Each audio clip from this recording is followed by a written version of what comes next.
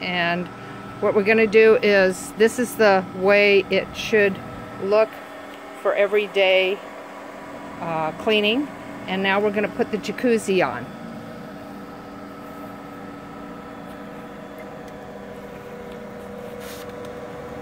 Okay, Always do the suction first, okay, good to know.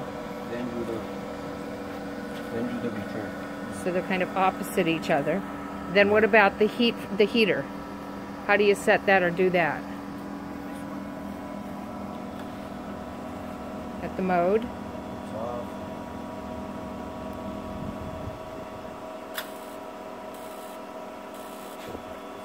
It's telling it to turn on right now, it's set for 104. Okay, that's good. That And so that Five that now it's the jacuzzi is on, right? Yes. I mean But the heat ha- the heater heater hasn't started.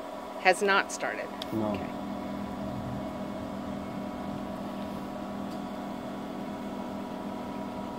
Started already. okay. Barely hear it. Like, but I can feel the heat. Yeah. All right. And if we wanted to heat the swimming pool and not just the spa, what would you do? You leave those on the regular. Okay, so like it was before, so they'd be opposite. They'd be facing opposite with the heater on and then the whole pool system would work. Yeah, to heat everything, just leave this one in the middle. Okay.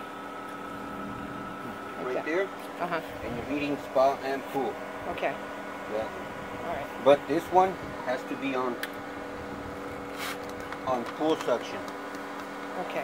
That way you can be sucking the water, water from the in, pool. into that spawn and overflows. And- Okay, so let's put it back to the spa. And how long should I leave it like that? that will the heater go off or? The No. heater's gonna turn off. At 102. I think it's set for 104. 104 right Yeah, let's turn it down. Oh, uh, was that 104 about right? What what should it be set at? Most For? people like it 102. 100, turn it. 102. 102? Yeah, 100 sounds good actually. I don't need it real hot. I just want to warm it. 100. Okay. And then we don't need to do anything with the back. That- No. Okay. All right, great. All right, so when we're done with this,